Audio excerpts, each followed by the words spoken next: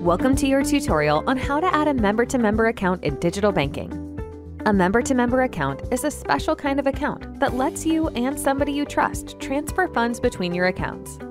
You can use a member-to-member account to send your kids some extra spending money, pay back a friend, or pay your share of the rent to a roommate as long as they have an Addition financial account.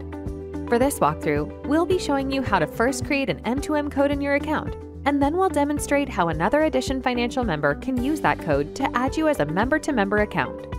Creating an M2M code. To make the M2M code, you'll need to log in to the digital banking dashboard. Go to the navigation bar at the top and then click Make a Transfer. From the new transfer page, click Member-to-Member -member Accounts using the navigation pane on the left side of the screen. Next, click Create Code. Read through the terms and conditions, and then hit Accept and Continue. Select the account you want to use in the drop-down menu. Next, enter a unique M2M code in the text box. When you are happy with your code and it satisfies all requirements, click the button to the right of the text box so that the code is in your desktop's clipboard.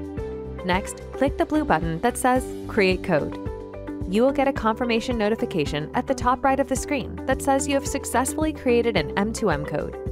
From here, you are able to send the newly created M2M code to another Addition financial member who will enter it into their account to complete the process. We'll cover that process next. Adding a friend's M2M code to your account. First, log into digital banking. Once you're logged in, you'll be on the dashboard. On the navigation bar at the top of the screen, click on the Make a Transfer tab. From here, you'll be taken to the Transfers screen. Select Add Member Account to be taken to the Member to Member Accounts page. Be sure to read the Member to Member Transfer disclosure, then press the Accept and Continue button. In the first text box, provide the M2M code provided by another Addition financial member to their account. After you enter the provided M2M code, you can give the account you're adding an easy to remember nickname that will only be seen by you.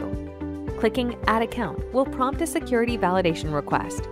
Complete the security validation, then hit Next. Following these steps correctly, you should see the added account in the Member to Member Accounts page. From here, you can make a transfer to that account or add another account. Thank you for watching.